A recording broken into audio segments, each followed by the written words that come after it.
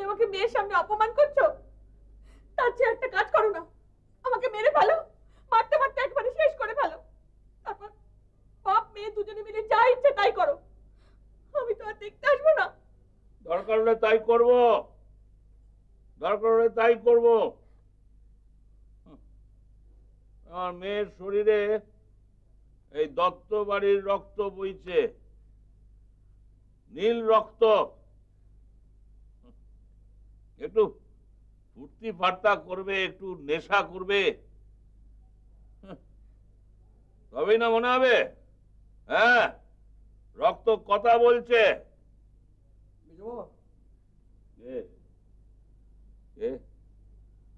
অলোক অলোক আয় আয় ভেতরে আয়। আয় না আয় বস। বস। বস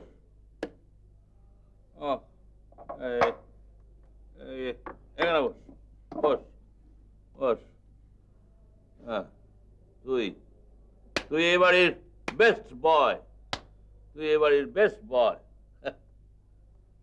দাদার ছেলে দুটো তো কেওড়া তৈরি হয়েছে।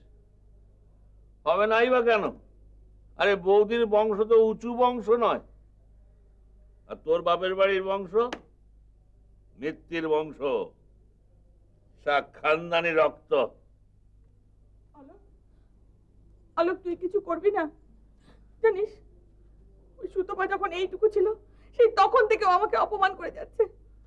ওর সামনে আমার আমার বাপের বাড়ির কথা সব সময় ওর সামনে তোলে। মেজো বাবা রক্তই যদি কথা বলবে তাহলে আমারও তো বাবার মতো হওয়া উচিত ছিল।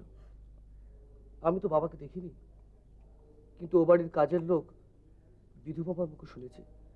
বাবা নাকি খানদানি রক্ত নিয়ে খানদানি খারাপ কাজ করতেন। মিথ্যে কথা। মিথ্যে কথা বলেছে। আচ্ছা তোর বাপ যা করতো বাড়ির কাজের লোক তা বুঝবে কি করে? সুতপা? সুতপা?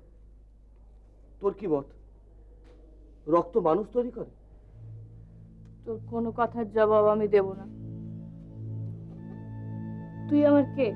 যে আমার সাথে কথা বলছিস? এ বাড়িতে কে কার? আমার উপর রাগ করেছিস? রাগ ছাড়া ওর আছেটা কি? আজ রাত্রে যখন বাড়ি ফিরলাম তখন দরজায় জ্যোৎস্না ছিল না। কেন জানিস? এবারই সব জায়গায় অন্ধকার। শুধু তোর কাছে আলো আছে। তাহলে আজ আলো দেখালি না কেন?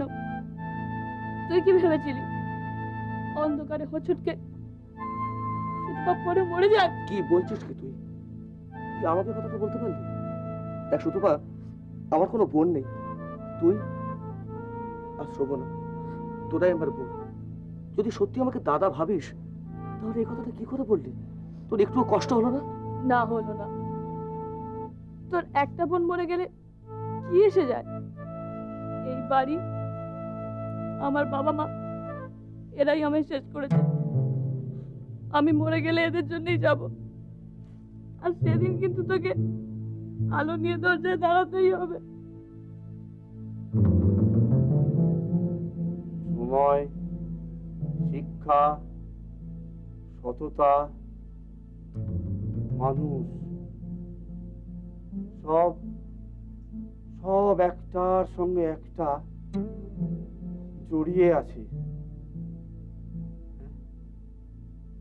মানুষ মানুষ খারাপ হয়ে জন্মায় কেন? গীতায় বলেছে, মৃত্যুকালে যা ভাববে তাই হবে। রাজা ভরত হরিণ হরিণ করে প্রাণ ত্যাগ করেছিল। তাই তাকে পরের জন্মে হরিণ হয়ে জন্মাতে হলো। হ্যাঁ। বুঝলি রত্না? তোর ওই বড় ভাই পরেশ, আগের জন্মে গুন্ডা গুন্ডা করে মরেছিল। আর কথা না বলে এবার একটু ঘুমিয়ে পড়ো বাবা। কদিন ধরে তো ভালো করে ঘুমোওনি। আজ একটু ঘুমানোর চেষ্টা করো। চেষ্টা তো অনেক করি মা কিন্তু ঘুম যে আসে না। খালি খালি রাজেশের মুখটাই চোখের সামনে ভেসে ওঠে।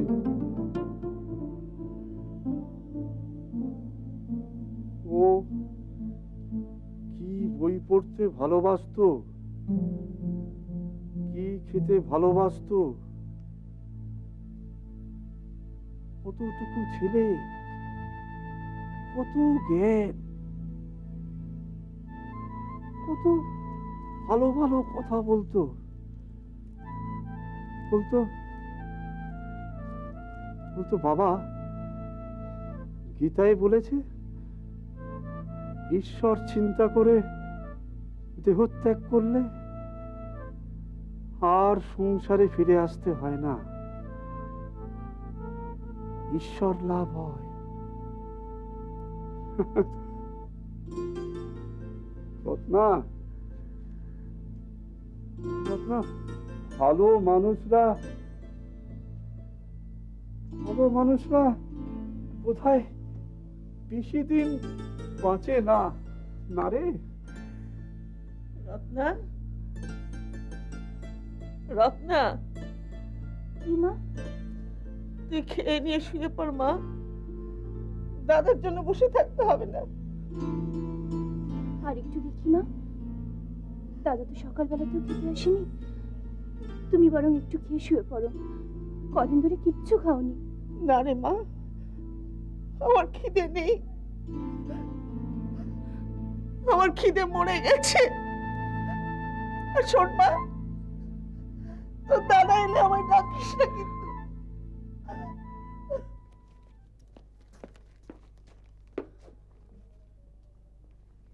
এই দাদা তুই তাড়াতাড়ি হাত মুখ ধুয়ে নে।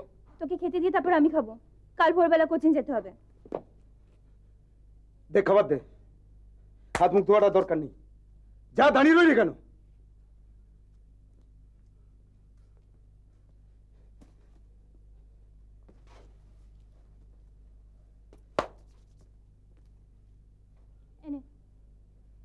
তোকে কতবার বলেছি না? তুই খেয়ে নিয়ে আমার খাবারটা ঢাকা দিয়ে রাখবি? আর কিছু নেই? রোজ রোজ আলুর তরকারি রুটি খাওয়া যায়? বারে আমি কি করব? আজ তো বাজারই হয়নি। কালকে আলু পড়েছিল তাই দিয়ে রান্না করেছি। বাজার হয়নি তো সকালে বলিসনি কেন? কাকে বলবে? কাকে বলবে? তুমি তো কাক ডাকা সকালে উঠে বেরিয়ে গেছো। সারাদিন পর দেশোদ্ধার করে এই ফিরলে। সংসারে কোথায় কি হচ্ছে না হচ্ছে তার কোনো খোঁজ খবর তুমি রাখো। তার সঙ্গে খাবারের কি সম্পর্ক? আর তাছাড়া এক তরকারি কোনো বাড়িতে হয়? কোনো বাড়িতে হয় কি না হয় আমি জানি না। তবে এ বাড়িতে হবে। আমার যতটুকু সামর্থ্য, আমি ততটুকুই জোগাড় করি। খাবার পছন্দ না হলে নিজের খাবার নিজে জোগাড় করো। নিকুচি করেছ তোমার খাবারে। রইল তোমার খাবার। আর শোন আমার জন্য তুই আর রান্না করবি না।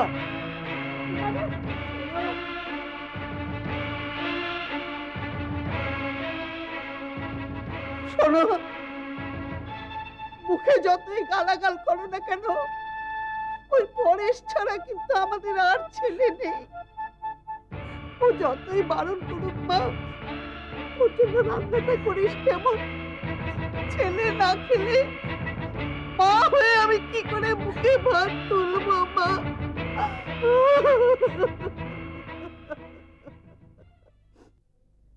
মতি না পারুক। মাকে বলেছিলাম, উনি একটা সই করে দিলেই তো ইলেকট্রিক সাপ্লাই কানেকশনটা দিয়ে যায়। তা উনি তাতে রাজি নন না, সিঁড়িটা জায়গায় জায়গায় ভেঙে গেছে তাই অন্ধকার। কোন দিন যে কি হয়ে যাবে তা কে জানে? তো মা রাজি হচ্ছেন না কেন? তুমি আর ছোট ঠাকুরপো দুজনে মিলেই তো লাইট আনতে পারো। মাকে টাকা দিতে না হলেই হলো। টাকার কথা নয়। ওর আপত্তিটা অন্য জায়গায়। কিসের আপত্তি? বাড়িতে আলো থাকলে ওনারও তো সুবিধে। রোজ রাতে উনি লম্ফ নিয়ে ঘুরে বেড়ান। বাইরের বারান্দা আলো থাকলে সকলেরই সুবিধে। রাতে যখন ঠাকুরজির ঘরে যাই, আমার তো বেশ ভয় করে। সিঁড়িতে রেলিং নেই। কোন দিন পড়ে যাব কে জানে? পড়ে গেলে যাবে। মাকে বলে কোনো লাভ নেই। উনি বলেন ঝাড়বাতির যুগ তো চলে গেছে। ইলেকট্রিক বাতি ওনার সহ্য হয় না। বাড়ির মালিক তো মা। মালিক পারমিশন না দিলে মিটার দেবে কেন? যাকে। শেষ বয়সে আলোর মুখ আর নাই দেখলাম। ও হ্যাঁ ভালো কথা। ছোট ঠাকুর এসেছিল। বাবুলাল এসেছিল? হ্যাঁ। কি জন্য কিছু বলেছে? না তোমাকে না পেয়ে ঘুরে আসছি বলল। হ্যাঁ। দাদা আছো নাকি? বাবুলাল আয় আয়। চা খাবে ঠাকুর হ্যাঁ? না বৌদি। আসলে সারাদিন অফিসে এত চা হয় যে বাড়িতে এসে আর চা খাই তুই একবার এসে ঘুরে গেছিস শুনলাম। হ্যাঁ তপন আর তরুণ থাকলে পরে তো আমি এ ঘরে আসতে পারি না তাই এখন চলে এলাম। দাদা দাদা তোমার সঙ্গে একটা কথা ছিল আমি বলছিলাম যে শ্রবণা শ্রবণা তো অনেক রাত অব্দি লেখাপড়া করে সেটা তো তুমি জানো। কিন্তু কিন্তু তরুণ আর তপন সারা রাত যা শুরু করেছে তো তাতে তো শ্রবণার লেখাপড়ার ক্ষতি হয়ে যাচ্ছে। সবই বুঝি রে বাবুলাল কিন্তু কি করি বলতো? কোনো বয়সে কথা বলতে গিয়ে ছেলেদের হাতে মার খাব? ওরকম করে বলো না। ওরা তোমার গায়ে হাত তুলবে এতটা আমি ভাবি না। তুমি না ভাবলেও আমি তা ভাবতে পারি। তোমার ছেলেরা বাড়ির বাইরে কি করে আসছে তার কোনো খোঁজ খবর রাখো? হ্যাঁ বৌদি হ্যাঁ। এই তো একটু আগে বাইরে থেকে শুনে এলাম। কি শুনে এলে ঠাকুরপো? আবার নতুন করে কোনো ঝামেলা শুরু করেছে? ফকিরের দোকানে গিয়ে তপন ফকিরকে ধমকেছে। খুন হওয়ার আগে তপনের সঙ্গে রাজেশের নাকি কথা কাটাকাটি। সেটা ফকির দেখে ফেলেছে। আর সেই জন্যই তপন গিয়ে ফকিরের দোকানে গিয়ে ফকিরকে সাজিয়েছে যেন সেই এসব কথা কাউকে না বলে। দেখো ওরা বাড়ি ফিরলে তুমি একবার ওদের সাথে কথা বলো। আমার কথা তোরা শুনতেই চায় না? ওরে ছোটবেলা থেকে আদর দিয়ে দিয়ে নষ্ট করেছ? এখন বলে কোনো লাভ হবে? তাছাড়া আমি যখনই কিছু বলতে গেছি তো বৌদি মাঝখানে এসে দাঁড়িয়ে দোষ তো তোমারই। স্কুলে ছাত্র পড়িয়ে বাড়িতে নিজের ছেলেদেরও ছাত্র ভাবতে শুরু করেছে। দিন রাত খ্যাচ খ্যাচ খ্যাচ। কখনো কোনো ভালো কথা বলেছ ওদের সঙ্গে? আর সঙ্গে ভালো করে কথা বলব? ওই দুটো কুলাঙ্গারের সঙ্গে? লেখাপড়া না শিখে বয়স বাড়িয়ে বাপের ঘাড়ে বসে আছে। আমি না থাকলে ওদের ভবিষ্যৎ কি হবে ভাবতে পারছ? দাদা আমি যাচ্ছি। তোমার ছেলেদের বলো এরপর কথা না শুনলে আমি পুলিশের সাহায্য তার মানে? আমাদের ফ্যামিলির ব্যাপারে পুলিশ কি করবে? ফ্যামিলি নয় ফ্যামিলি নয় দাদা ফ্যামিলি নয়। রাজেশের ব্যাপারে তপনের এক ছাত্রে এর সাথে অনেক কিছু ফাঁস করে দিয়েছে। আমার ফ্যামিলির শান্তি যদি নষ্ট হয় তাহলে কিন্তু আমাদের দাদা ভাইয়ের সম্পর্ক নষ্ট হয়ে যাবে তোমায় বলে দিলাম।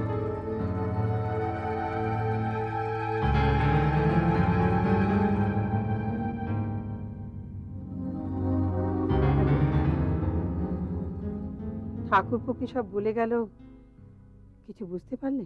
দিদি তুমি তোমার নিজের ঘর সামলাও। রোজ রাতে চারজনে মিলে তো ঘরে একেবারে বাজার বসাও। আর তোর ঘরে কি বসে মেজ? হরিনামের আসর না গীতা পাঠের আসর? মেজ ঠাকুরপার তোর মেয়ে দুজনে মিলে কি করে জানিস না? ছি ছি ছি ছি ছি এমন শিক্ষা দিয়েছিস মেয়েকে এই বয়সে সে নেশা করে বাড়ি ঢোকে আর ছেলেদের সঙ্গে ফষ্টি নষ্টি সে তো আছেই। আর তোমার ছেলেরা? তারা কি সব রাম লক্ষণ গঙ্গা জল খায়? হ্যাঁ? তাদের জ্বালায় তো কান পাতা দেয়। আর তোর ঘরের কথা কি কান খাড়া করে শোনা যায়? লোকে ঠিকই বলে, নিচু ঘর থেকে মেয়ে আনতে নেই। দিদি, মুখ সামলে কথা বলবে। তুমি তো খুব উঁচু ঘর থেকে এসেছ। তা তোমার ছেলেরা ওরকম লোফার তৈরি হলো কি করে হ্যাঁ? তাদের উঁচু করতে পারলে না? কে কত উঁচু ঘর থেকে এসেছে সব আমার জানা আছে। কি জানিস? আমার বাপের বাড়ির সম্বন্ধে তুই কি জানিস? আমার বাবা মুনসেফ ছিলেন, তাও ইংরেজ আমলে। আর তোর বাবা কি ছিলেন সে তো সবাই জানে। ও বড় বউ, ও মেজ। এই সকালবেলা তোরা কি সব শুরু করেছিস বল দেখি হ্যাঁ? আমি একটু মন দিয়ে ঠাকুর পুজো করতে পারলাম না। আমি আপনি কিছু বলবেন না মা। যাকে আপনি উঁচু ঘর থেকে নিয়ে এসেছেন সেই বড় বউকে বলুন। আমি সবাইকে বলব।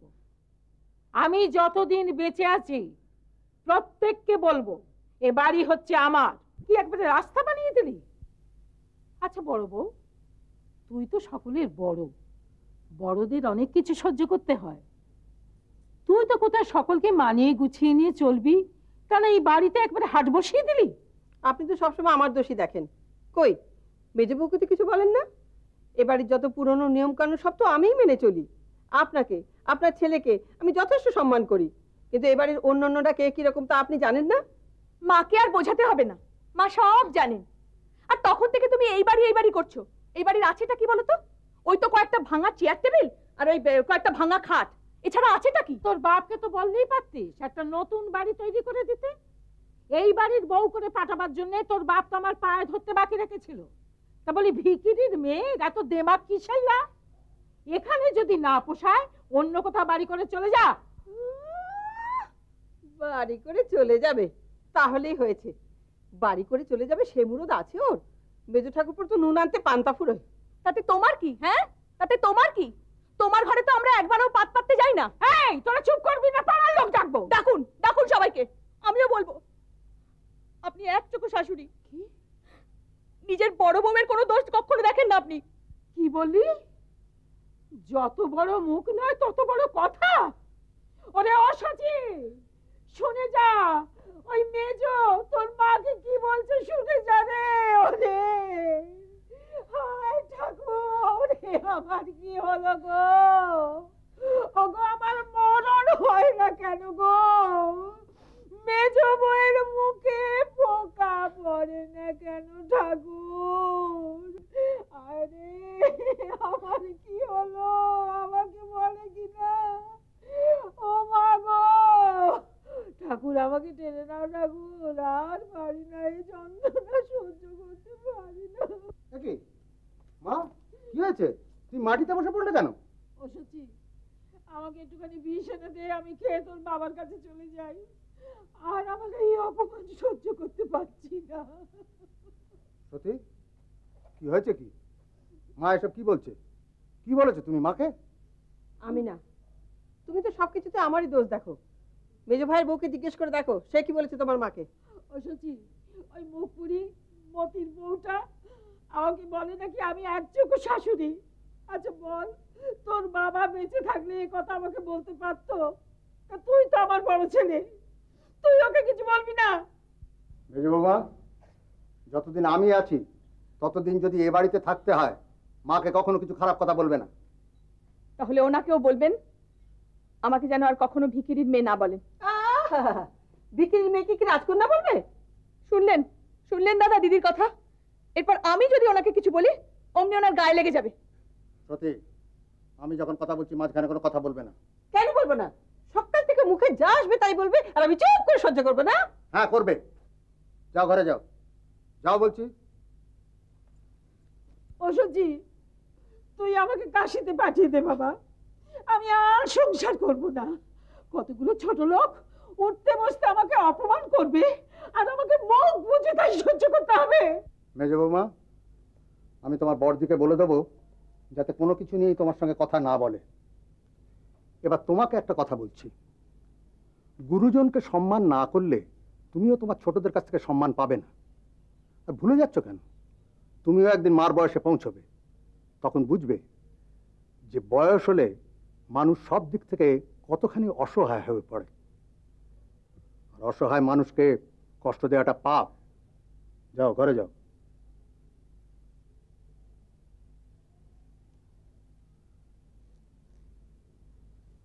মা ওটো ওটো তো মা ওটো ওটো ওটো ওটো।